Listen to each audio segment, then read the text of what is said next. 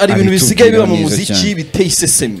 Byabayeho mu gihe kinini aho umunyamakuru yumva ko nta muhanzi atabaho hanyuma bakaza kuri radiyo Iriya radiyo y'abanyeshuri aho ngaho Iriya radiyo turagenda y'abanyeshuri byibuze wambwira turahera kuri iyi nkuru niyo niyo nkuru irimo kuvugwa cyane muri aya masaha bitewe n'ibimaze kuba mu masaha make ashize. N'indirimbo yabanje kuvugwaho byinshi mbere yuko isohoka yabanje gukorerwa muri yari indirimbo yahereye kuri element ele iva kwa element ijya kwa, kwa Kevin Kade twabigarutseho mwagiye mubyumva cyane. Igera hijyamo abasore bagi- babiri harimo n'umugabo umwe. Indirimbo iza gusohoka gusa mbere ko isohoka yabanje guhura n'ibibazo bikomeye cyane. Byari kuba na ngombwa yuko umwe muri bo ayikurwamo ariko byaje kurangira isohotse bose bayirimo. Nyuma icyumweru kiba kiruzuye icyumweru ndumva cyuzuye. Isohotse. Ndumva kijya kuzura. None bigeze ahangaha biravuzwe bati iyi ndirimbo yamaze gukurwa ku rubuga rwa youtube ntabwo irimo kugaragara bitewe na copyright claim yatanzwe n'urubuga rucuruza imiziki rwitwa 1rpm akaba ari urubuga rusanzwe rwashinzwe mu mwaka w'ibihumbi bibiri na cumi tuza kurugarukaho. Turaza kubasobanura uko ikora one rpm uko ikora copyright. Uru rubuga rukorana n'abahanzi babiri ahangaha mu rwanda. Ndaza Soul. barimo ke ishkevin na kenisol. Doya ni debe na kenisol.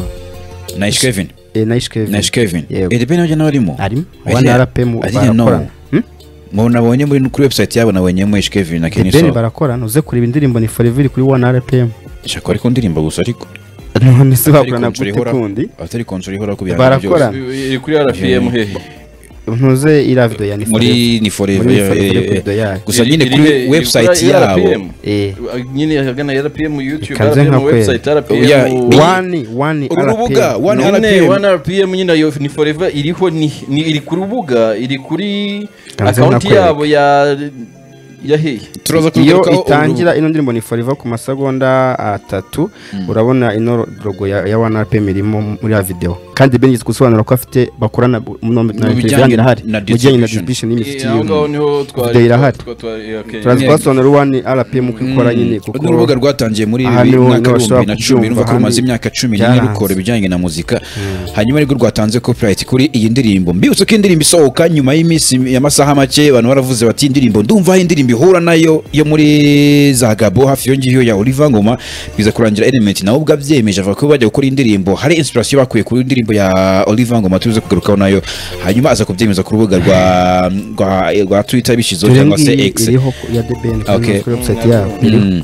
Forever. kubivuga ni bwo abantu bavuze bati kumbe ya ndirimbo na yo yavuye ahangaha banavuga bati ibi ngibi ni sampling bakoze ntabwo ari ugushishura cyangwa se gutwara igihangano cy'abandi ba nyiri ba nyiri ubwite batabizi banavuga bati basanga basabye n'uburenganzira. Undi akavuga bati ntago wigeze usaba uburenganzira. None birangiriye iyi 1 rpm ikoze copyright. Indirimbo ubu ngubu ntirimo kugaragara. Mu itangazo bashyize ku rubuga rwabo rwa ndavuga abakurikirana ibihangano bya Kevin Kade hari itangazo bamaze gushyira hanze. Dusomere niba unarifite uriheme arishyire hariya. Ibi bintu nshaka ko tuza kujyamo kubijyamo mu buryo bwimbitse.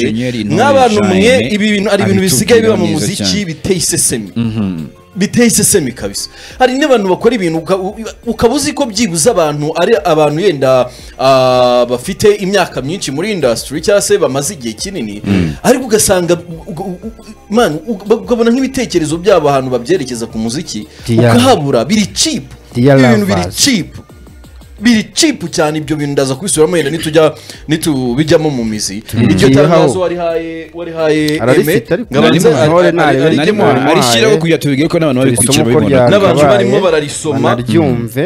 N'abari kuri radiyo nabo baryumva turashaka ko ibi bintu bitazanasubira bajya- bikwiye bashaka andi mayeri. guhagarara ibi bintu bi- nta- aya by'amayeri mayeri bya- yarabaye nta kuri by'amayeri. ndahita mbabwira ko no Uretse aya ni muribuka amayeri cyangwa ni ni- ni ni ikosa ryabayeho? Muribuka ni indirimbo yihe bakoze ino ino prank? Iyihe? ibi se si y'ubushize. bimaze iminsi none se indirimbo- none- none se Hari iyo uh, ni bitagikora. forever Ne- oya Ni ni Fore- forever ariko plate za video za, drone None- Ariko na yo yavuye- na yo yavuyeho, ndavuga indirimbo izi- zivaho. ibi bintu?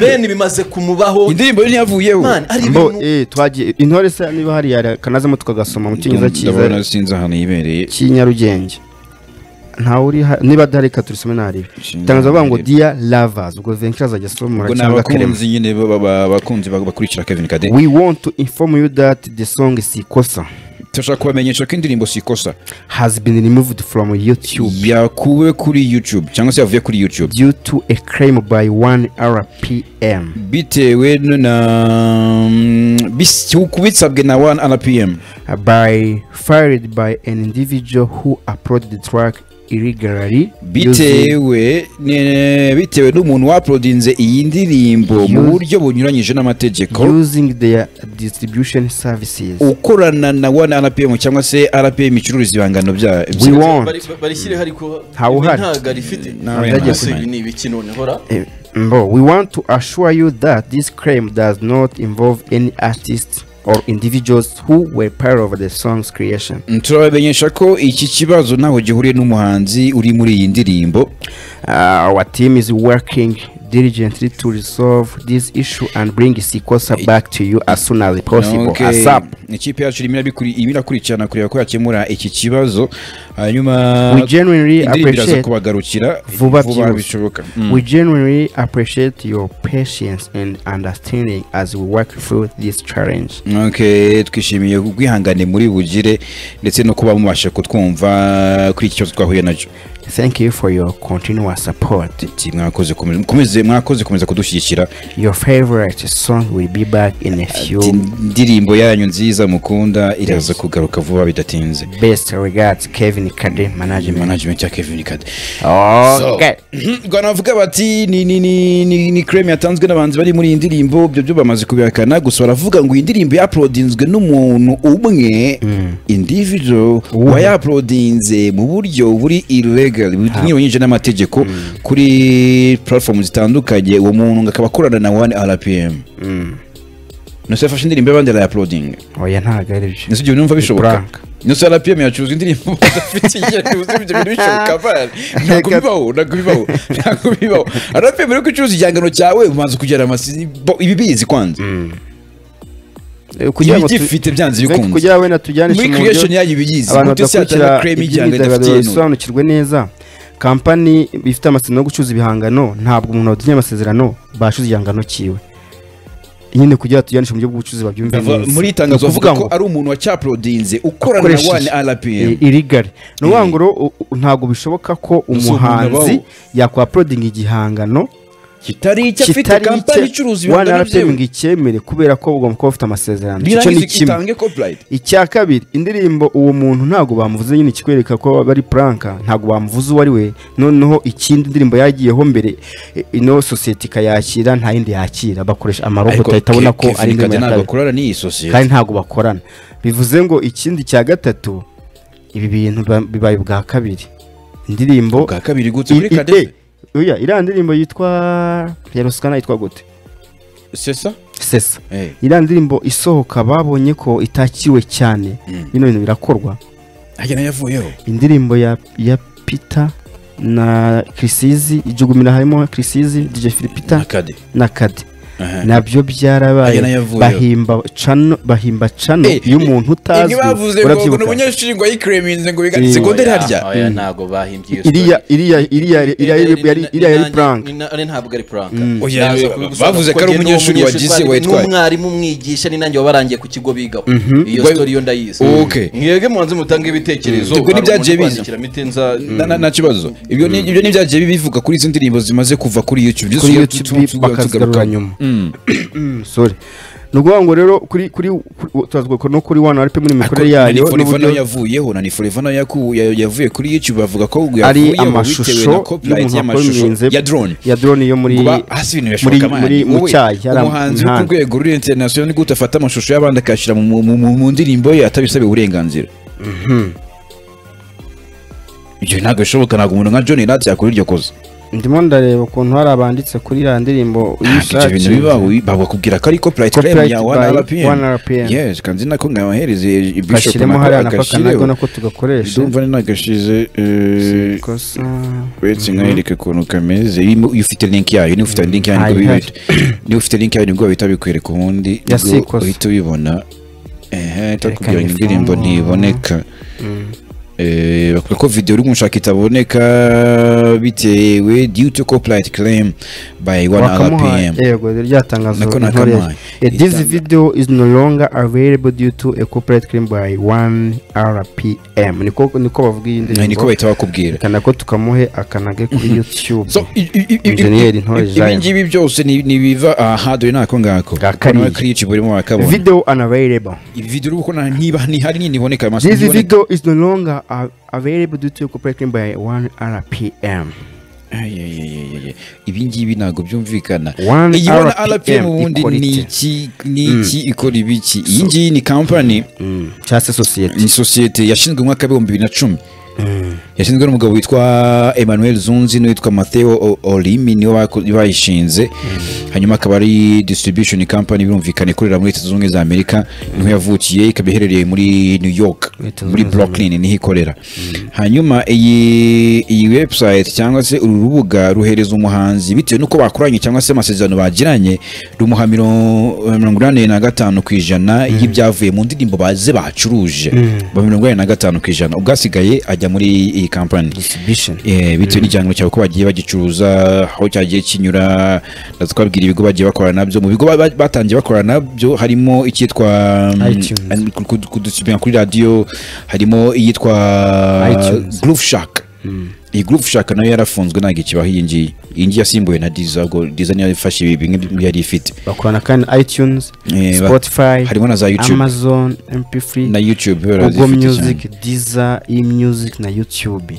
Kandi bafite ofisi i new york. Brooklyn mu mujyi wa brooklyn na chivie na sao paulo muri brazil.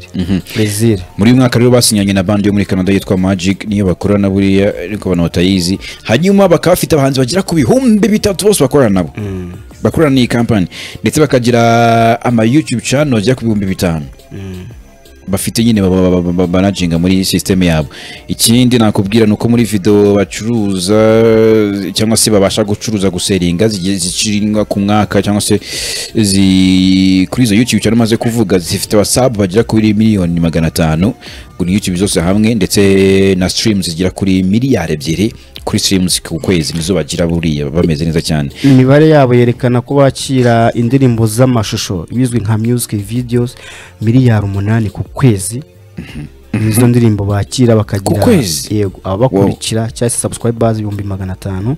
Hakinwa kandi indirimbo mu buryo bw'amajwi zigera kuri miliyari ebyiri ku kwezi. Bakira miliy- miliyari umunani hanyuma bagakina miliyari ebyiri ubwo hari izo barejegitinga one rpm bisobanura one revolution people's music cyangwa se impinduramatwara y'umuziki w'abaturage. Hanyuma abangaba baje muri afurika mu minsi yashize ni bwo baje ku mugabane wa afurika batangiye gukora n'abahanzi bagiye batandukanye mu myaka ibiri ishize ni bwo baje ahangaha muri afurika batangirira muri nigeria nyuma yo kubona uburyo movement yaho igeze bashyiraho n'icyicaro bafite ibyicaro buriya muri nigeria kenya na, na, na, na south africa. Hanyuma abahanzi bakorana nabo harimo muri ghana birumvikana bakagira abo muri cote d'ivoire bakorana barimo witwa shadow chris no muri cote d'ivoire bakorana bagakorana na- n'abahanzi bo muri ghana barimo nka groupe yitwa dop nation. Bakorana mu rwanda harimo ish kevin ndetse na kenisol ubwo debe na jemov bo niyo mpamvu batarimo kugaragara kuri eh, kuri yego niyo ndirimbo nyine iheruka urumva ni nshyashya Mm. hanyuma muri tanzania bakorana n'abarimo rose muhando. Yego. Bagakorana n'abitwa G Neko bakurikiye umuzi bongo flavor baramuzi cyane ndetse ndumva ari abangabo ba- ba- bamaze gusinyisha mu minsi ya vuba ishize. Hanyuma ikindi nakubwira kuri uru rubuga ni uko buriya ku mafaranga yinjiye ku gihangano iyo umaze kwinjira ku madolari magana abiri ntabwo wemerewe kuba wayabikuza bisaba ko arenga hejuru yayo gato. Hejuru y'ama- y'amadolari magana abiri. Nibwo ubasha kuba wayabikuza. Bagakuraho cumi na gatanu ku ijana yabo ubundi hasigaye nawe ukayatwara nk'umuhanzi nyine bacuruje ibihangano byabo. Umva icyo bakora ni ugufata igihangano cyawe bakagikorera distribution kigacuruzwa bakubwira ko mu byo muri value bagenderaho bakubwira ko igihangano bafite bagifata nk'icyabo. Ku buryo nyine bakurikirana buri nyungu zose zicizeho ibyo cyakoreshejweho cyakoreshejwe byose barabikurikirana cyane. Ndumva ari ibingibi namubwiye kuri uru rubuga dore ko ni bimwe mu rubuga rukorana n'abahanzi bangaha mu rwanda tukubwiye batatu bakorana narwo urumva ko ibintu bi- baba babikurikiranye cyane. Hanyuma rero iyi ndirimbo na yo ngo yabaye copyrighted cyangwa se by Clemens harimo iyi 1 rpm hanyuma ndimo ndibaza kugira ngo niba mumaze gusobanurira abantu sinzi wari ukivuga ngo nari ngiye mbanze kubaza niba akanya. Oliver Ngoma akorana n'uru rubuga ni byo ndimo kugira ngo urebe ya ndirimbo niba uko koko ari ya ndirimbo yabiteye. Okay, reba kugira ngo bavuge ngo ni individo ngo umuntu reba. uploadinze indirimbo y'abandi. Ntabwo bishoboka cyane ntabwo bishoboka ntabwo byumvikana. Reka nanjye ngire ikintu mvuga rero ubu ngubu uh, igihe kiba kigeze kera uh, itangazamakuru cyangwa se showbiz muri rusange byabayeho mu myaka yo kugendera mu kwaha kw'abahanzi byabayeho mu gihe kinini aho umunyamakuru yumva ko nta muhanzi atabaho. Cyane.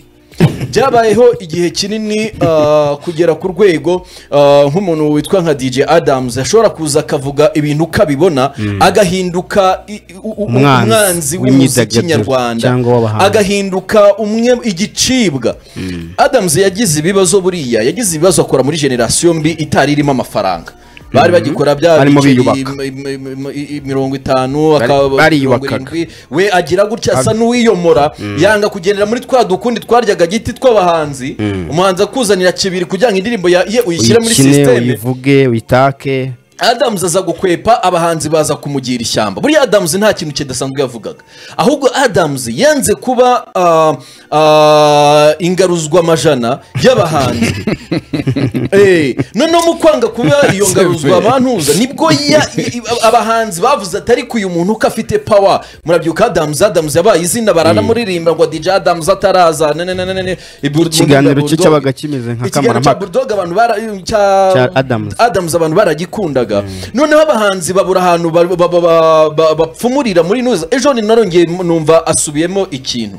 Ati njyewe kugeza na n'ubu nta ndirimbo ya Tom Close n'ubu nari numva nakina kuri radiyo njye nkunda umuntu ibyo bintu yabivuze kuva bibiri na cumi. N'iriya mama na bibiri na umunyarwandakazi mu mubano wanjye nta kane aravuga ati nta ndirimbo tom close afite na n'ubu iranyemeza ku buryo nayikina kuri radiyo ni opiniyo ye. Ni ariko opiniyo ye. ariko abantu ukorera baba bazikundura abo bantu ukorera Kuko ntabwo uba wikorera, Ah, ah, akenshi uri we umunyamakuru. ibiganiro bye. Mm. afite uko abiyobora. N'ukuntu ni na yo mpamvu bamuha akazi abamuha akazi baba bazi ikintu bagendeyeho bajya kumwicaza mu ntebe.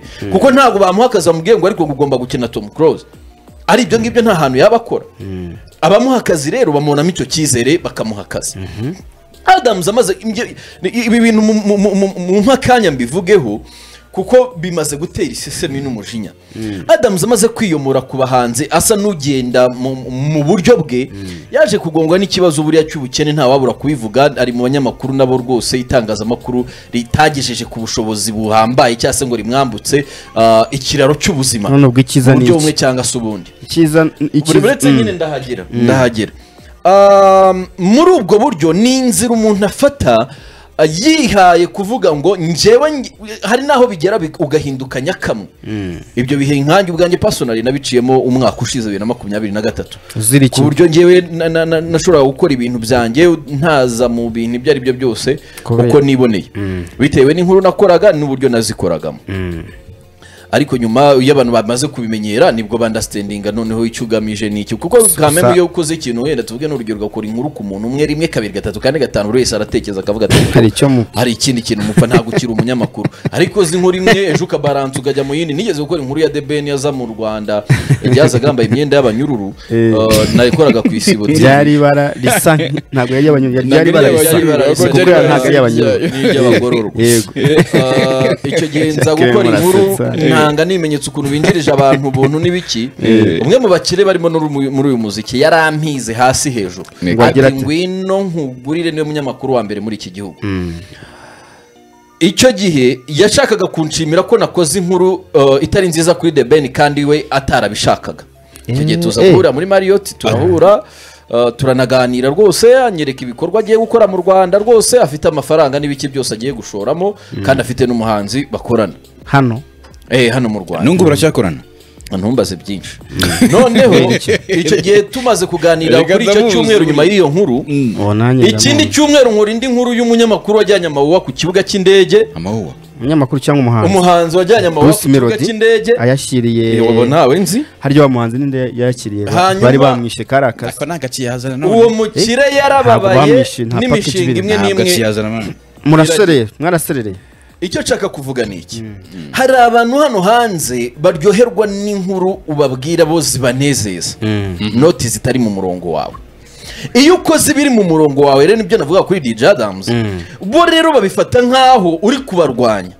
Bagatangira propaganda zo kukwangisha abantu no gushaka uburyo ki bagusubiza inyuma. Igihe cyose uri gukora ibintu bihombya umuntu ugomba ibyago kugirana aza ibibazo mu gihe uwahembwaga menshi yahembwaga iry'itanu abenshi ntabwo bahembwaga. Abenshi ntibahembwa bakoreraga ubuntu. ariko aje i kigali n'ibiki abantu bati ibiki n'ibiki uyu niwe yica umuziki n'ibiki abahanzi atajya kumuririmba. Umunyamakuru wagiraga ubuse ibi biracyabaho igihe hari umuhanzi waririmba umunyamakuru. Umunyamakuru warimbaga umuhanzi byaga byakomeye kuko byari bimeze nk'iti kuko ni umuntu ahita unera umujinya agahita njya kwica nanjye nkakora. Kera umuteraga umujinya agahita ajya muri studio akaririmba akagushyiramo rwose akaku- akakumanura akagutamo hanyuma rero abahanzi baragenda baragenda ba- bubaka ikintu mu banyamakuru bubakamo ko abahanzi ari bo nta bushuti niba Riderman ajya kuririmba amateka y'uzi- iriya ndirimbo uzayumve.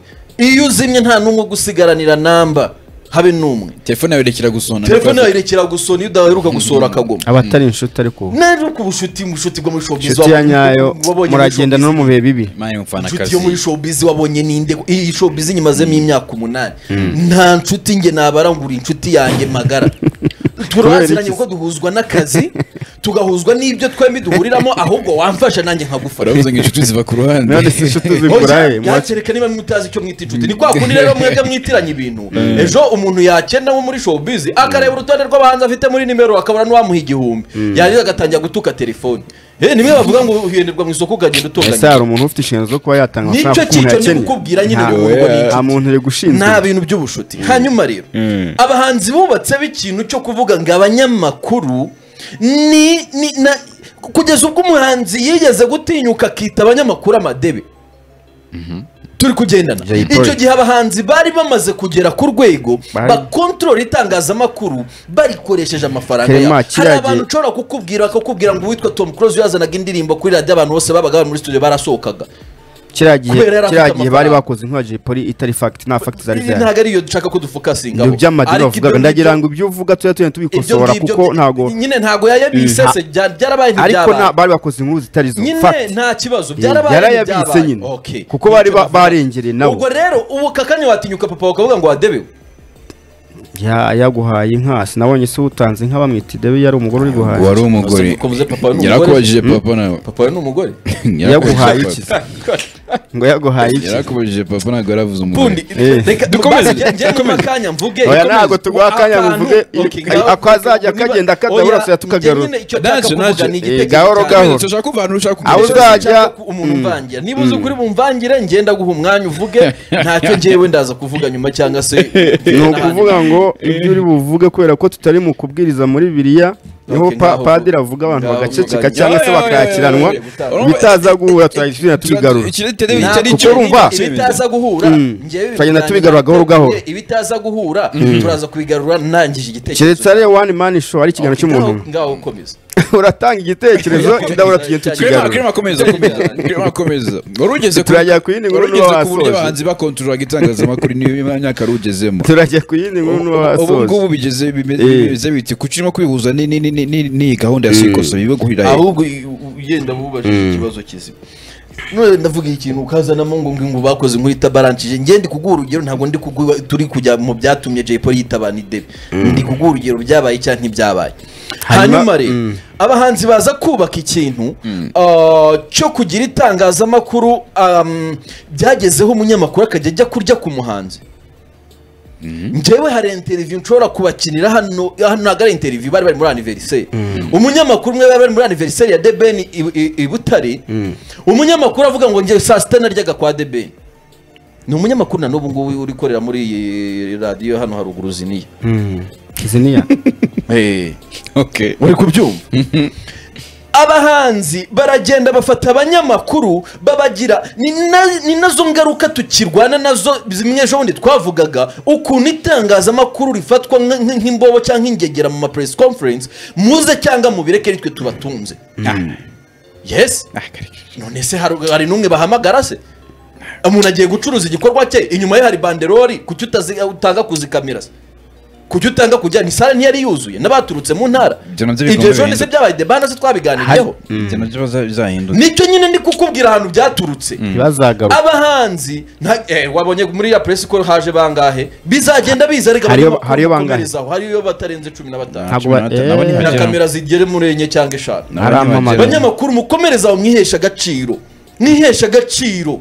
Bajye banga kujyayo. bavuye muri icyo kintu noneho bajya mu bakire bababwira ko abanyamakuru mu kirere bavuga ati ariko bariya abanyamakuru dushaka iki gitangazamakuru twakigura cyangwa se tukishyuraho amafaranga biciye muri uh, muri time marketing yabo bakajya badukorera serivisi ko twabishyura. Ari wini wini sitesheni ari wini wini umuhanzi agahita avuga ati reka reka reka turanda ajya iwanjye oya yahitaga umunyamahanzi kuri yahitaga bigenza ati niza telefone gato akabahamagaye venke. Venke ati ko mfite hano bitanu? Aka karirimbo aka gasedese waje ukagafata wawe ayo bitanu aguharura nayategamo uze gufata sede Kanyuma. wa mukire yari agiye gufata amafaranga agashyira ku kinyamakuru.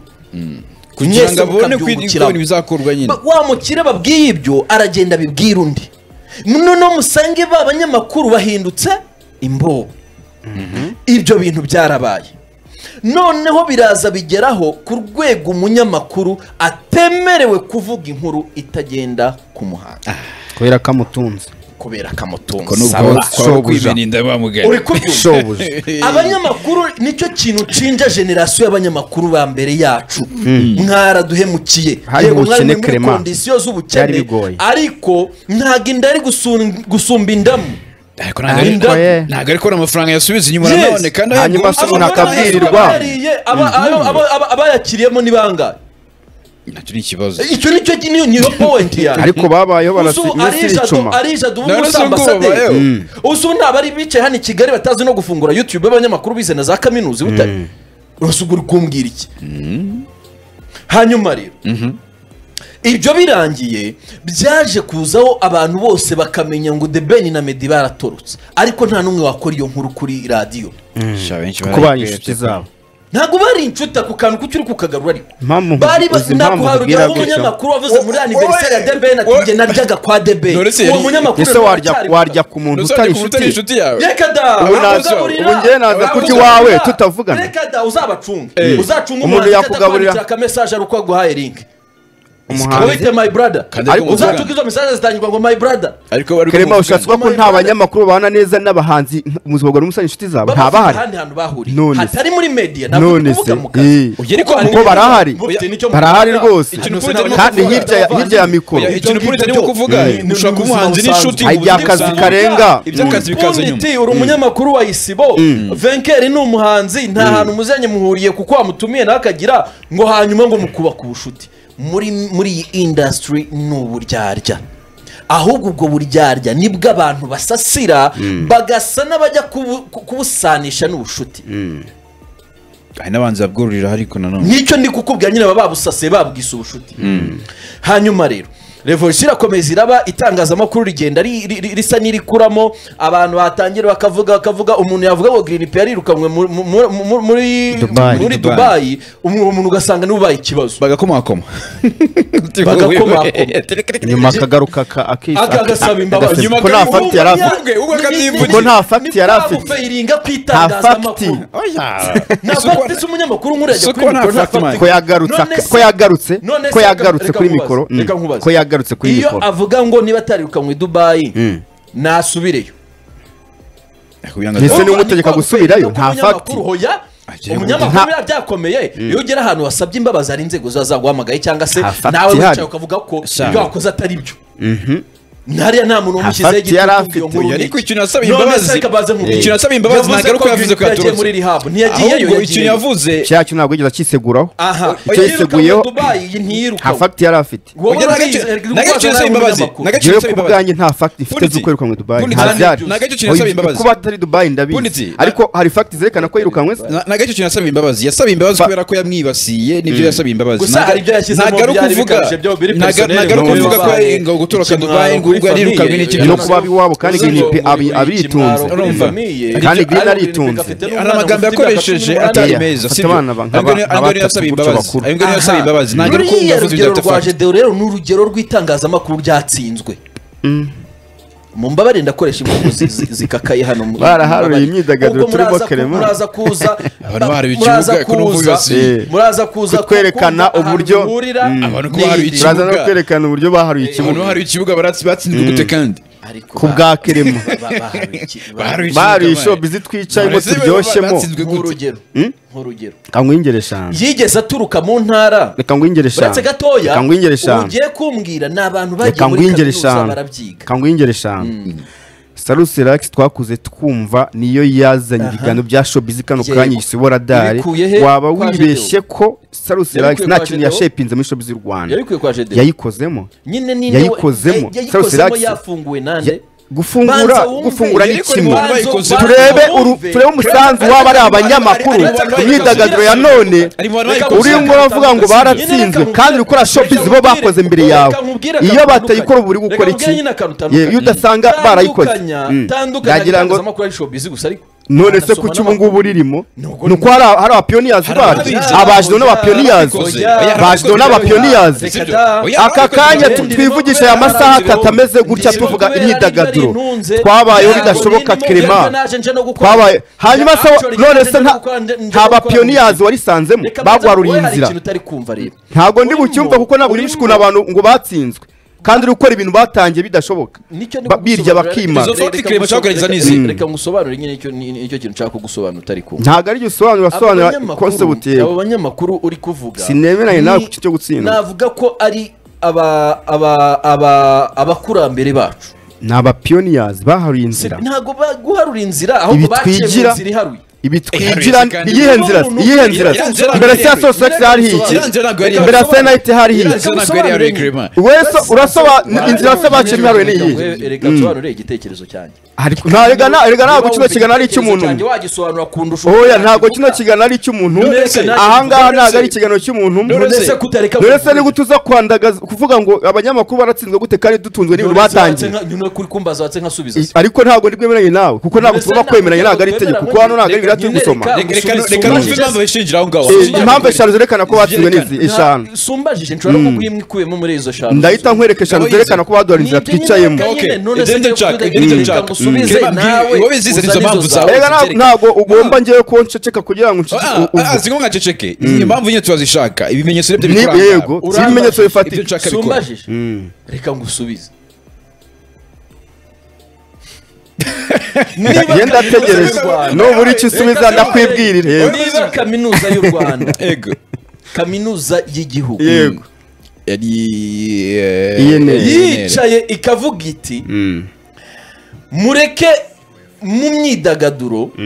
Sibyo yego kuko icyo gihe igihugu cyari kivuye mu bihe bikomeye kandi n'abanyarwanda bari bagifite ibikomere mu mpande zose zitandukanye. Imyidagaduro ni kimwe mu bintu bishobora kuba byafasha umuntu kuba yagira ibihe byiza muri ako kanya ari gukurikira ibyo bintu bimunejeje. Ni entertainment nyine. Mureke dufungure urubuga rw'abanyamakuru babyize aho kugira ngo umunyamakuru ajye ava muri kaminuza y'u rwanda narangiza ajye gukora kuri radiyo rwanda i kigali ahubwo ari gukora stage kuko hari n'abandi bantu baturuka mu majyepfo hari abaturuka mu ntara hari abaturuka he baza bahurira muri kaminuza y'u rwanda. Mureke dufungure radiyo byibuze abanyamakuru bacu bajye babona ahantu bakorera iki? Stage. Turi kugendana yego. Bagafungura radiyo sarusi ni bibiri na gatanu niba atari bibiri na gatandatu niba nibuka neza. Ifunguye bibiri gatanu. Bibiri gatanu. Ukwezi kwa cyenda ku itariki Kwa cumi n'eshanu ni- bagafungura radiyo sarusi ari iya kaminuza y'u rwanda. Sirivupe ntabwo ari igitangazamakuru cyigenga. Cyajeho abo banyamakuru kumbwira ngo bafunguyeho ikiganiro cya showbiz. Hari hari abantu bitwaga ba Emma Claudine. Hari abantu ba- bitwaga ba Eugene. Hari n'abandi bantu benshi cyane ba- batanga ibitekerezo by'ibiganiro bigomba gutambuka kuri iyo radiyo actually iriya radiyo yagombaga kuba ni kimwe na isango star. Isango star yo yatangiye ari studio isanzwe ya- recording nyuma baza kuyigurira. Bayishyira kuri bagiye bayagura bashyiramo na frequency baza gushyira radiyo sarusi kuri frequency ariko yumvikanira mu majyepfo gusa. Niba mubyuka mwaratangiye mwumva sarusi yaratangiye mubyumva. Yumvikanaga mu majyepfo gusa. Kuri mirongo icyenda n'ibice birindwi. Na frequency zaho ndacyazibuka. Hanyuma rero abo banyamakuru uri kumbwira ni bamwe mu banyamakuru bashyizwe kuko bari abanyeshuri ntibazi ari abanyamakuru. Turacyemera icyo kintu. Bashyizwe gute rero? Bari abanyine turemera ko bari abanyeshuri. Yego icyo ni- Hanyuma bakaza kuri radiyo. Radiyo y'abanyeshuri aho ngaho turagenda byibuze wambwira